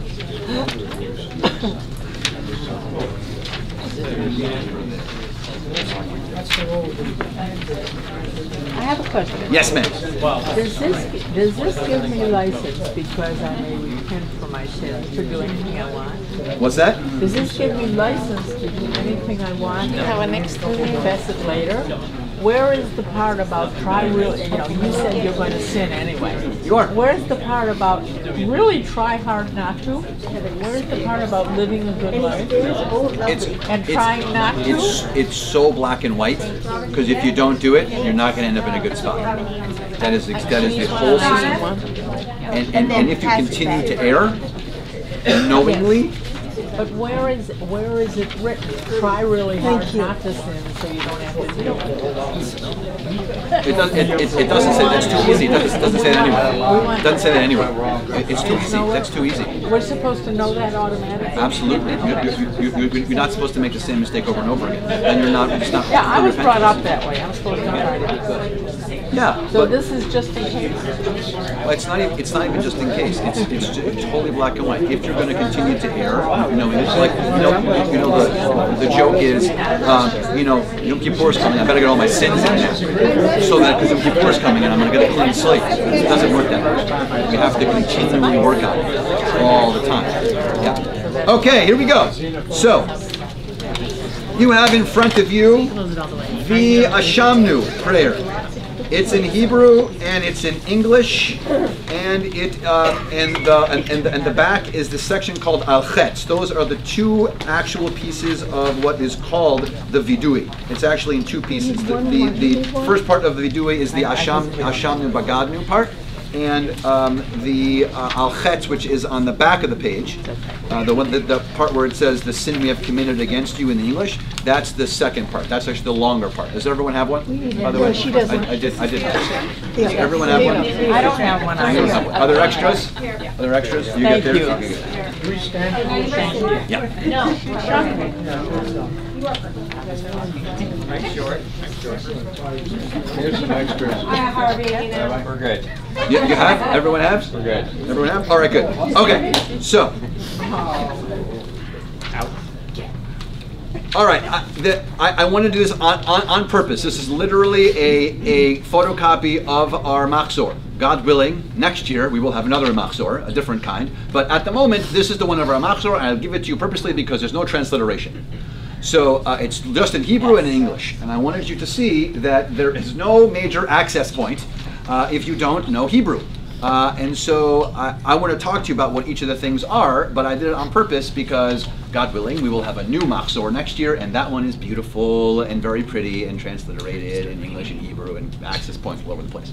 So, um, hint, hint, we're going to talk to you about the new Machzor at some point. It's coming. Doesn't have picture. There are pictures, yeah. Th- There's, there's that, there, there's a, there's a, there's a draw your own adventure in that one. You get to add your own little storybook to it. Okay, so, um, if you know the Ashamnu, um, and if you even look at the English, you'll see that it is an acrostic, m- m- meaning it is in alphabetical order. So, and if you look at the English, l- let's look at the, at the English for a second, right? So it says, we, we all have committed offenses, together we confess these human sins. The sins of, there's the A, arrogance and bigotry and cynicism and deceit and egotism and flattery and greed and injustice and jealousy, right? Uh, some of us kept grudges. There's the G and the lustful, malicious, narrow-minded, all, all the way through. So you see, it's, it's an acrostic, and um, just so you know, it's uh, done that done that way in every single prayer book. In, Hebrew, it's the same, obviously, but in English, it's, it's also it's, it's an acrostic in, in, in every way. Okay, so um, we stand for it traditionally. Um, we stand for it, and uh, there are in a more conservative and orthodox synagogue, you actually do it twice. You do it uh, silently, and then you do it communally. Uh, we just do it communally, but just just so you know. So um, here are here is the real translations. Okay, so uh, ashamnu means we have been guilty. Bagadnu, which is the second one, we have betrayed. Gazalnu is we have stolen. Dibarnu dofi is we have spoken falsely. We have caused others to sin is he'evinu. Vihirshanu is we have caused others to do evil. Zadnu is we have had evil hearts. Hamasnu, like the word Hamas in it, we have done, we have been violent because Hamas just means violence. Tafalnu Shakir, we have attached lies to the things that we do in our lives. Ya'atznu Ra, we advised evil. Kizavnu is we have lied. Latznu is we have scoffed. We have mocked, essentially. Maradnu is we have rebelled. Ni'atznu is we have been scornful. Sararnu is we have been disobedient. Avinu is we have been perverse. Pashanu, transgressed. Sararnu, persecuted. Kishinu Oref, we have been stiff necked. Rashanu, we've been lawless. Shichatnu, we have been corrupted, or we are corrupt. Ti'avnu, we have committed abominations. Ta'inu, we have gone astray. And Ti'tanu, we have led others astray. That is the actual translation of these words. The, the nice version of it that's on our translation is a little bit softer. Where was xenophobia? I know, yeah. There's uh, not so much xenophobia, but the good Z one is good there. Yeah, yeah. It's like the X. They couldn't think of X-ray because that's the only X word you know. Like we X-ray people. what? That's terrible. Repent for that X-ray you did. Yeah, that doesn't doesn't work for us. Only so if you work for TSA. it's only uh, it's only if you work at TSA. Well, well played. That's very nice. That's good. good. That's good. I have so, I actually stopped myself. There was so much to say there, and I don't. have to go. There's so much. uh, okay, so um, all right. So uh, this is this is the Ashamnu prayer. Tell me the difference between what you see in the English and what you just heard that I, the words that I threw at you that are the actual translations. What's the difference? Is there a difference? Are the same? A lot. Harsher. What's harsher? The word, the, the word. The Hebrew is harsher. Yeah, the actual context is harsher. Why do you think the Reform Movement's section is not as harsh? That was my question. Okay, good. Why do you think the Reform Movement is not as harsh? For the same reason they took out the second paragraph of the Shema. Correct. For the same reason, there's no. By the way, that's it's, it's sad times. Uh, the Shema that we do uh, at services is not the full Shema. Uh, it never has been. The Reform Movement has never had the full Shema uh, in, the in, in any prayer book it's ever made, um, and particularly because the second paragraph is taken out. And so the Reform Movement doesn't want to offend you that much. Oh, is this about self-esteem? So it is. It's about it's about not pushing too much. The reform movement is very cautious about the term that it uses, and so it's bad because we had injustice and then we had greed and we were obstinate. But it doesn't say that we did things violently with evil hearts in cause to do others evil. We caused others to sin. It's it's much it's it's much harsher. It's much harsher. If you think of the terminology, by the way, in the harsher one, do you see sort of a, a, like a theme through it? Do you, do you feel a theme through the harsher one, the actual translation? It's action, yeah. Causing others to. Yes, yes. It's there's a cause and effect in the actual one. That not only are you responsible for taking care of yourself, but because you're sinning, other people are sinning because you're sinning. So it's a, gets really messy and really ugly when you look at the real translation of the Hasham. It's downright scary because it's telling you not only are you messing yourself up, but you're messing everyone up in your community. And that's not okay. That's not okay. Messing yourself up, oh, okay, uh, it's not it's not great. But if you're causing other people to do evil and you're setting them up to do evil, that's horrible. That's that's the beating of the that's the beating of the chest. So if you turn the paper over, because I'm running out of time, this is the Alchet section. So the Alchet section is the longer part of the of the of the vidui. The, the the short part is the acrostic. This is the long part. This is a photocopy once again of our prayer book, of the one that we use at services. This is uh, Gates of Red, Gates of Repentance. So Gates of Red. So and and, and if you look at it, and by the way, if you recognize from services, what we do at Beth Israel is we, we say al al chet and we and, and then we one of us is the Hebrew, and then the congregation does the English. So we do Hebrew English Hebrew English, all the way through. And so this is the longer list of all, all, all the achets. Take a second and look at these and tell me if they're similar, dissimilar to what you saw on the other side and or what you heard from the harsher terminology. What are you noticing from the al-chet section, the we have sinned section?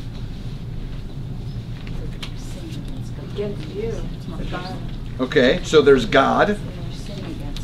Okay, so there's there's you're sinning against God in some of these, yeah. And they're sinning against people. Yes, good. Probably covered every single thing you could possibly. So they tried to cover every single thing that you could possibly think of. Okay, good. All right. There is no, you have caused others to. Oh, okay. So there's no there's, there's sort of there's no blame, right? There's no like you're causing other. There's no repercussion. Shame. Okay. Nice. Well, okay. the second one, and the sin we have committed against you by exploiting the weak, Mm. and against others. Right. It- r- r- right. Exactly. It's taking advantage of someone, right? Which which sometimes we do. Uh, I'm not gonna. Well, that's part of the list, and there are other, but this is one section. So this is I, I purposely did this. It occurs other times throughout throughout the liturgy in our book, but that's literally one page of it. So there's one section that we only do that page. So there are other sections where we do other pages, but in that section we only do that one page of it. So and I showed that to you on purpose because it's a small section. It's not that big. I'm about to show you a bunch of other copies, and you're going to start to see how many al-chets are there. There about to be a lot more from the other movements that, that, that, that, that I'm going to show you in my 10 or 11 minutes that I have left. So, okay. So now we're starting to play on the God versus the human, and you probably know this already, but it's very. Uh, if, if not, I will re- reiterate the the point that all of the standing and all of the fasting and all of the repenting and all of the reflecting and all of the standing and the sitting and all of the exhaustion and all the stuff that we're doing and all the liturgy only fixes the problems between you and God. You can stand there till you're blue in the face, but until you have gone directly to the human being who you've wronged, doesn't matter how much sitting or standing or fasting you're going to do, you're not clear. Eh, there's no system. Rambam says you're not clear. You have to go out and search that person, and you have to say, I'm sorry, but not like, sorry. Really say you're sorry, and by the way, when you say you're sorry, the person can say to you, I don't care. So you have to go back to that person and you have to say, I, I am so unbelievably sorry. And that person can say to you, I don't accept your apology. I don't care. You have to go back a third time and ask them a third time genuinely. And then, by the way, according to Judaism, you are clear.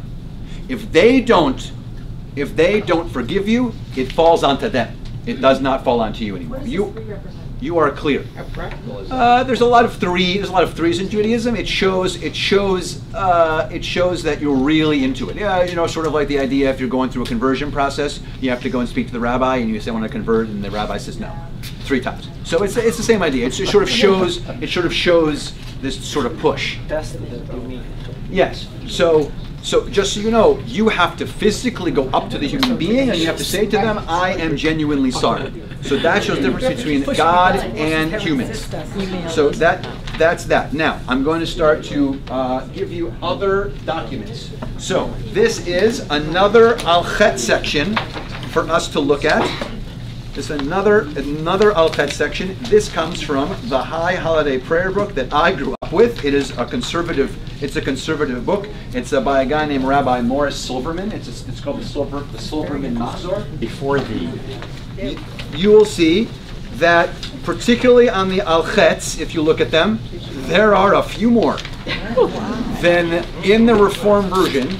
Are they And- really, or is it just that we break it up? Uh, no, there really are. There's only one page of one section from the conservative. So if you if you look at this Al-Chet section, and I just meant to give you the documentation for you to take with you and glance at, it's it is it is quite extensive. So here is here is the next here is the next one. So I, I want you to look at this section. Rabbi, And, what is this book? What did you say? uh, it says it says It says on the front. It says it on The the front. Holiday Prayer Book. When we're standing, when we're standing up, why are we beating our chests? Why do we have to do this? Do you think? Why does Judaism? By the way, it prescribes to do this. It's not a guess. It says in the text. The physical act of doing it. Is it like a flagellation? Yes, it is like a physical, not only a mental, but a physical connection to you actually saying these things. And you have to take them seriously and you have to internalize them. And if you don't, no one will know, by the way. No one will know, except for you. So this is where the switch over and the, and the, and the, and the, the concept of the words and the text have to be about intentionality. What are you actually thinking? What are you actually, how are you actually going to fulfill this promise or this reflection or this erasing of the sin? And there's, the conversation only exists between you and God. So you can be doing this up there and thinking, I'm hungry, or this is boring, or I hate this, or what is she wearing, or anything, anything, and no one will know except for you.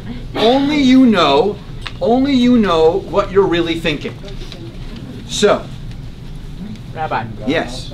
But when you say when you're doing this, in the middle of I'm hungry, why am I doing this? When you say that, is it time to go home? No. Or is there an answer out there? Ah, okay, good. So the, thank you for the segue. And the answer is this. The, the, the answer is this, is that in Judaism we have both a private and a public way to do this, for us to repent. And this is the beauty of the whole uh, Al-Chet and Ashamnu system that the rabbis create for us all the way back in the, I wrote this down, in the second century. And that is that it's communal. So even if I didn't do one of these things, maybe you did one of these things. And because you're next to me and I'm next to you, and this is why I'm not going home. Because I can't go home, because you need me to stay. Thank you. Because if you leave, then you break the whole system. And that is what repentance in a community is all about. Absolutely Every word we say. Ashamnu Bagadnu in Hebrew, is in the plural. Every single Orthodox, conservative, reform, doesn't matter. Whatever the Ashamnu says, it is all in the plural because it's communal. If you don't do it, then I did it. And I'm not telling you if I did it. Only I know that I did it. But I'm saying it because maybe you did it. So you can't leave. If you leave, the whole thing breaks. Brilliant. everything falls to pieces because I then can't say Ashamnu. I can't I can't hit my own chest and say the plural because then you're not beating your chest with me. So who am I saying plural to? I'm talking to myself. It has to be in the plural. It's the only way the system works. That is what this is what the rabbis wanted. Everything is in the plural. The alchet alchet shechatanu. That we plural. We sinned. We sinned on this. That's And why, it- that's why we say we are people. Exactly. This is the whole. This is the whole piece of this. This is the whole thing. The whole thing is based on this. And if you break it, the whole thing breaks. What about if you're praying by yourself? So this is why, for, in what for for the high holidays, Yeah. you can't.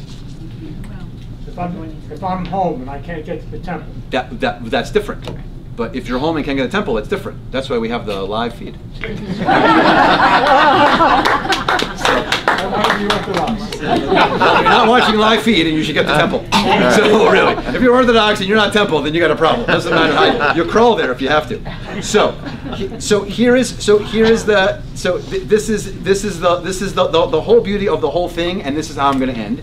Is that according to according to Ezekiel, who usually is yelling at us, he is a prophet in the book of prophets. He says, by doing this communally, we are figuratively, not literally, figuratively entering a mikvah.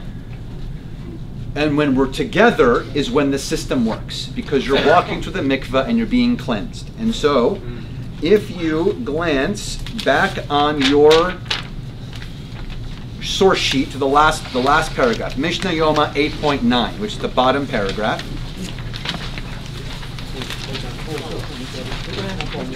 Who wants to read? Mishnah Yoma 8.9. Please, thank you.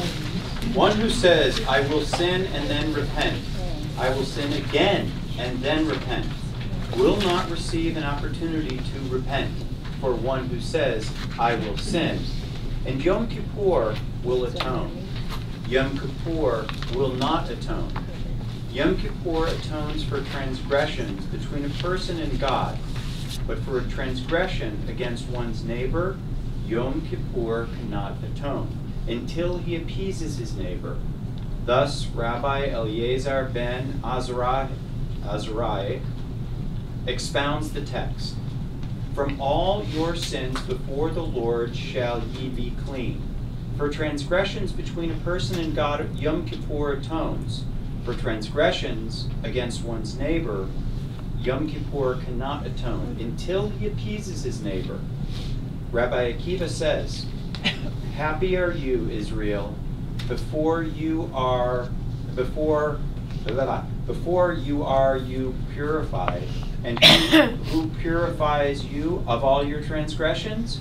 Your Father who is in heaven. For it is said, Then will I sprinkle clean water upon you, There's the mikvah. and ye shall be clean. And it is also said, The ritual bath, hope, of Israel is the Lord. Even as ritual bath purifies the unclean, so does the Holy One.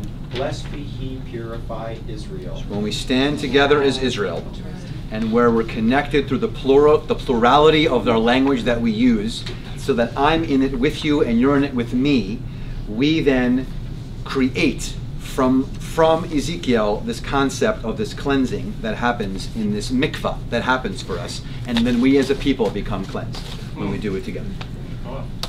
That is it. Wow, what a way to end. So I'm going to give you one piece, one, one last piece of paper, which you don't, which you just just to keep because you have to have it. It's phenomenal. It, it is, um, it, it, it is. I forgot to write it on, but it is Rabbi Levy's uh, from that same short text you got from Rabbi Kahn. His version of the confessional, beyond anything you've ever read. It is the most brilliant thing ever. It's going to change your whole your, whole- your, your whole view on this. So I'm just I'm just I'll, I'll, I'll, I'll give it to you, but I'm but I'm done. But I'm going to give it to you. So I want to start out by looking at the the concept of creation. I have the word Bereshit on the board here, but I want to start by asking you, when you think of the creation story, what is it that God did? What would you say it is that God did that comes to mind when you think of creation? Created the world. Separated the heavens from the earth. Separated heavens from the earth. Created the world. Created the world. spoke. He spoke and there was light. God spoke and there was. So all of these things, anything else that comes to mind? Light and Light. Light. Light and darkness, all of the things that we'll read on Rosh Hashanah from the beginning of the Bereshit story. These are all things that come from Bereshit, from the first book of the Torah. An interesting thing, uh, we talked a little bit about just the word Bereshit. Rabbi Kahn had it in on his handout. But the word Bereshit we normally translate as in the beginning. Grammatically, there's a lot of problems with this word. So Bereshit needs to have something that follows it. Um, it's a it's a form. It's the construct state where there's one word. It needs to be the beginning of something, not just a beginning. If we wanted to say in a beginning, that would be a different word. But this is in the beginning of blank. But there is nothing to fill in that blank. And so one of the things that the rabbis say and that they can translate this as is that maybe there's not just one beginning. The vowel here under the bet is the vowel that if we wanted to say in a beginning, and putting on hold the fact that there's more complications to the word, this would more likely be in a beginning. If we wanted to say in the beginning, we would need to have the kamatz underneath it, bareshit. So if we wanted to say uh, in a day, it would be biyom. If we wanted to say in the day, bayom. So grammatically, one of the implications of this is that this is saying in a beginning, which then implies that maybe there are more than one beginnings. The Hebrew Bible has several different creation stories. So if we skip ahead just looking at Genesis chapter 2, there's a different creation story. Chapter 1, God spoke, as Sam just said, and things happened. So God created out of nothing. And so creation out of nothing is one instance of creation in the Bible. In Genesis 2, does anyone know how God created man? God created Adam? The rib. First, oh. God gathered the dust, all of the dust, and formed it into a being. And so in in this, which is very similar to we have other ancient Near East stories. So in Mesopotamian legends of the Epic of Gilgamesh, God created out of clay. And so similar, God fashioned together all of the parts and turned it magically into Adam. And then from there, and there's complications with the word Adam, maybe it's a proper name of Adam. It can also be man or the man or humanity, mankind. But God took out the rib, opened up Adam's rib, took it out, and created Eve, his wife. And and so there, there was creation out of something, out of some physical material that God was able to manipulate in some way, but that material already existed prior to God creating Adam. The the concept of taking from the rib comes from a Sumerian motif. And so all of these stories from the ancient Near East culture, and we talked about this this morning also, are, are influencing the text that we've, we've come up with. What I want to do is I want to pass out a, a couple of excerpts, and so Stacy will get it started on that side, and we can pass these around here. Mary Shelley also got it. That's right, that's right.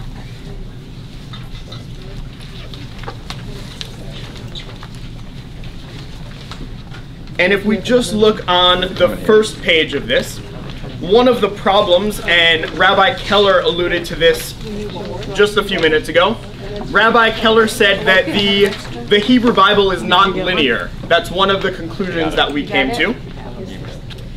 And so the Hebrew Bible is not linear. But if we go back to Genesis 1:1, 1, one of the things that we, we can see is if I ask you when water was created, take a look at this text and let's try to figure out when was water created.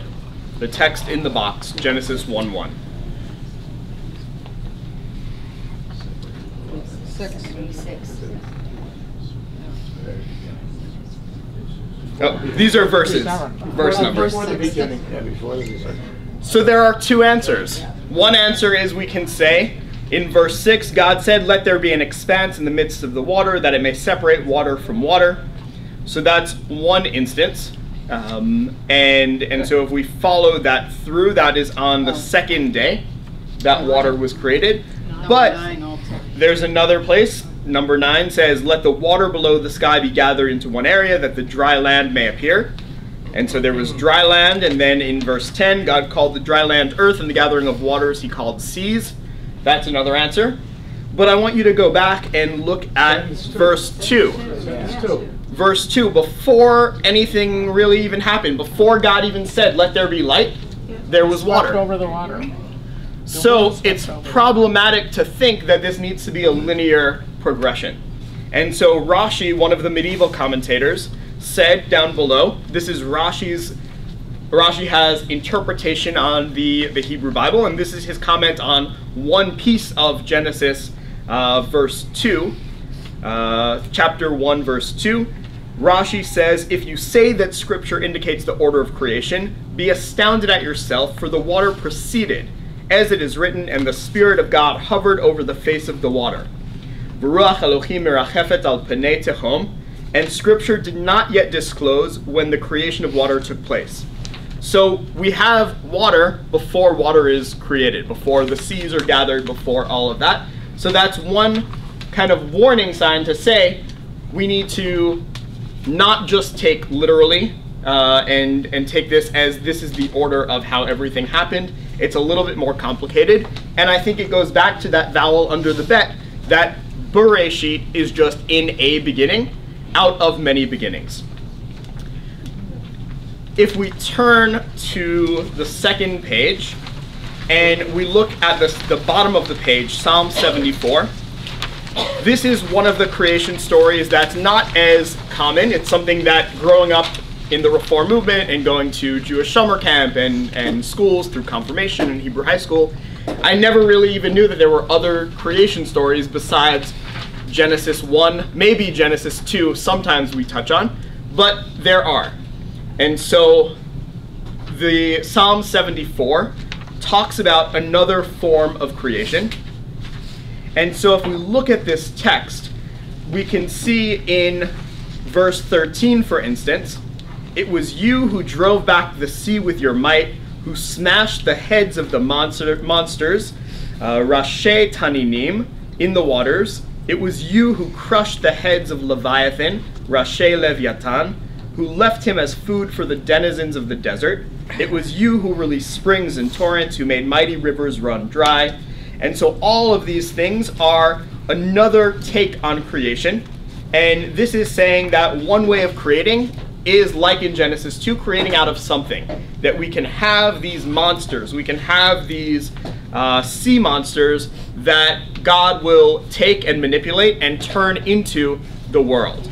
And so these, there's parallels to other cultures, the Babylonian creation myth, the uh, Enuma Elish, which was compiled around the 7th century BCE, but dated back to somewhere between the 18th and 16th centuries BCE, when, when there were initial texts from the Bronze Age, Bronze Age and the time of Hammurabi.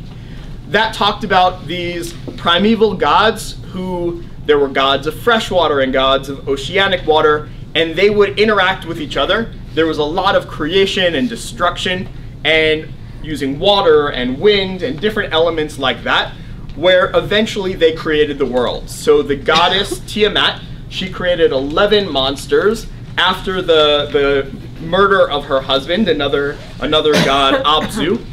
And after those 11 monsters were created, there were many, many battles uh, with the god Marduk, who was the god who used wind. And Marduk eventually took her body, killed her, and ripped her into two parts the earth and the skies. And so that's one, one place in Babylonian culture where we have a creation story. And just like that appeared and came into Genesis uh, chapter 1, the, the elements of that, that fighting back and forth, the creation out of something where you actually need to destroy first in order to create, shows up here in Psalm 74. It, the word tumult is on the first line, and that sort of sums it all up. It was built around that tumult. Exactly, that we need chaos in order to create. And, and very different from, from chapter 1 of Genesis, where God just said, There should be light. Let me say and think, this is what's going to happen, and this is what will, will come about. Let's turn the page now to see, still in the book of Psalms, but Psalm 104. And I would ask you to look at this for a minute. And as you're just looking at these first, let's just say the first even 10 verses of this, just read it to yourself for a minute. I want you to think what does God do in this text, but also what kinds of themes or images does this story evoke for you? Take about two minutes to read 1 through 10 right now. Okay, so what are some of your reactions to this text? Imagery. Imagery. What images does it evoke? Uh, wings and chariots and all this, you know, almost everything here. Great. Lost in the waters, clouds, chariots, wings of the wind, uh, fiery flames. Uh, keep going, you know, the whole thing. Mm-hmm. Great. So everything is already there, and now God's gonna do something with it. Mm-hmm. God, God is the puppeteer. Right. That things are, it's, it's kind of things are dressed. God is just kind of wrapping it up to make it look nice. What else does this evoke? What feelings maybe does this evoke for you? Kind of circles us back to our, our first one Mhm. of awe. Mhm. You know, it just makes us one, wow, it's amazing. Yeah, exactly. And so I think for me, this this instance of creation is very different than Psalm 74 on the other page. There's not necessarily that chaos and and darkness, but this there's a lot of the word light appears here, uh, majesty, glorious. Uh, he sets rafters of his lofts in the waters, makes the clouds his chariot. To me, it seems very kind of good, right? Peaceful. Also holier than that, may sinners disappear from the earth. Mhm. You know, what kind of, you know, we're all sinners. you know. So maybe unrealistic too. So I wonder why we have Genesis one as the most common story. Because it was the beginning. Well, because there's more than one beginning, that, that's one beginning. I mean, this is another, But th- that's the first thing you read. Great point. Go Most ahead. of us aren't here today. pardon me? Most of us aren't here today. Most people read the beginning and that was good enough. Mhm. So they stayed home. And just about just about every translation says in the beginning. So that that very first word of the Bible says this is the beginning. Don't question it. That's it. But there are no vowels in the And we have it. There are no vowels in the Torah. That is correct also. So it could be Bob or did. Exactly. So why do we say did? So when the Masoretes decided what the what the kind of codification of the Torah and the putting the vowels in and, and pulling together the the Hebrew Bible as we know it, they made decisions. They had to make decisions of what how will we point, how will we add vowels to the text, and that is that's what they came up with. But we can also go back and look at other earlier texts like the uh, the Greek, the Septuagint, and the Latin Vulgate, and and see. But that's the Masoretes were the ones who who made those decisions based on the information they had available to them in terms of how others did it. And that's the text that we have still to this day. Uh, That was my question. What do you think is the order of approximation of these translations? It was written in Aramaic to Hebrew to what? To Latin to Greek. So we have- And now it was written. The, the next version will say "coming" and "going" because it was written in Phoenix. But Mm-hmm. uh, this is yes. This is today's language. Right. So we received the Torah uh, in Hebrew. The, the text of the Torah was Hebrew. The spoken language at the time was Aramaic.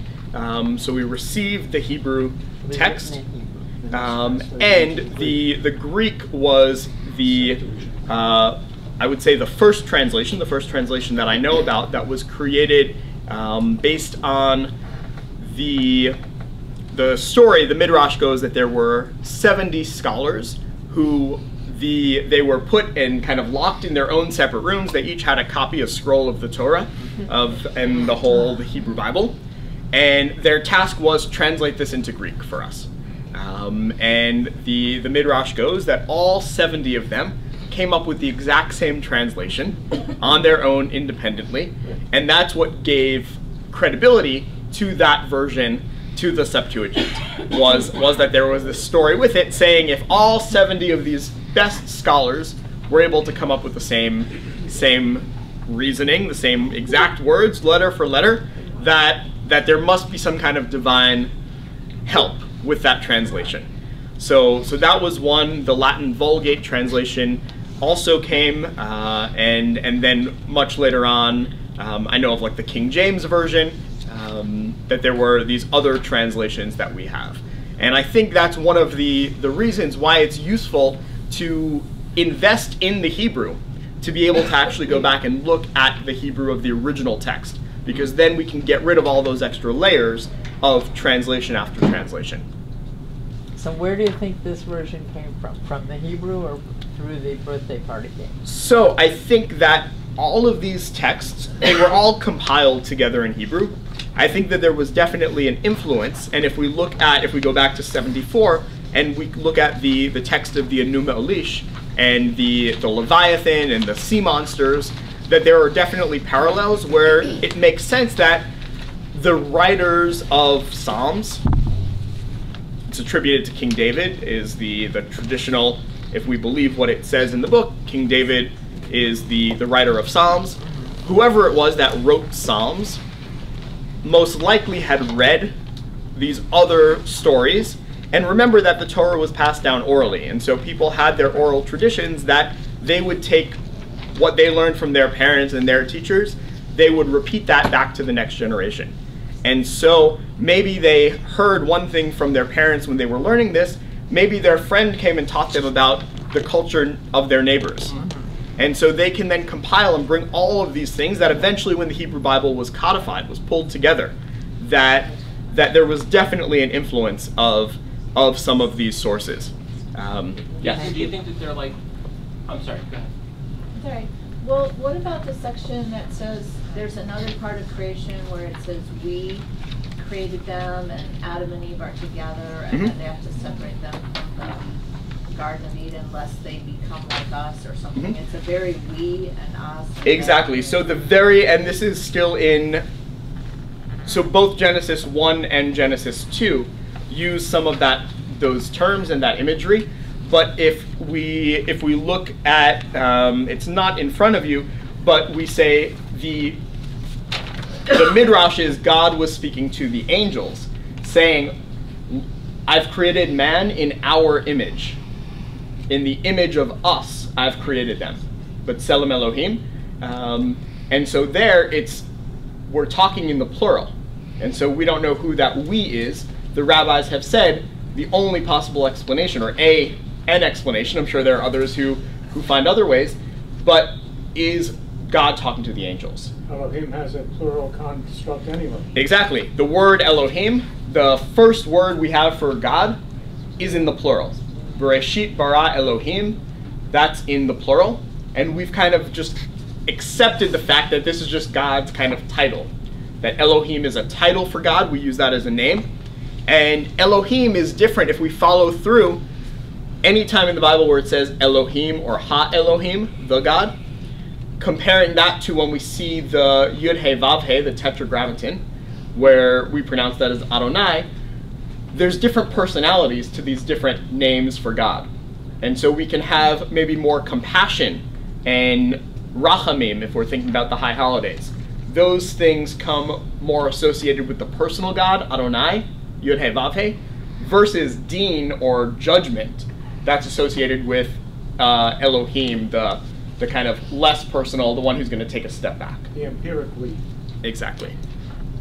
And as the oral tradition was passed, maybe there were parallel strands of writing it down in the um, authorships as, as, as there is the textual criticism. Exactly. And and so in the textual textual criticism, there's the documentary hypothesis that tells us that there are these four sources.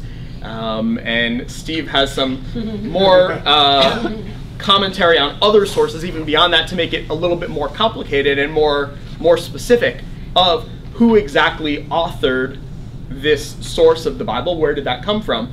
Uh, but if you look at Genesis 1 compared to Genesis 2, there are two stories of essentially the same thing, but it's how creation is happening is completely different. Versus in the first in the first example we have God speaks, second chapter God pulls together the dust. And so they're two very different stories, contrasting stories. God's created humanity in chapter 1 by speaking, and then by pulling together in chapter 2. God can't have created the first person in both ways.